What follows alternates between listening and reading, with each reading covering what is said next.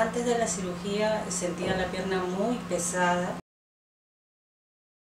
Con relación al idioma, me sentí contenta porque hay personal que habla el español.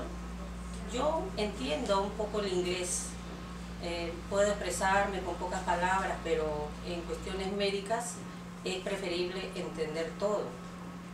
Entonces encontré personal que hablaba español, que me ayudó mucho y eso era para mí muy importante, entender todo.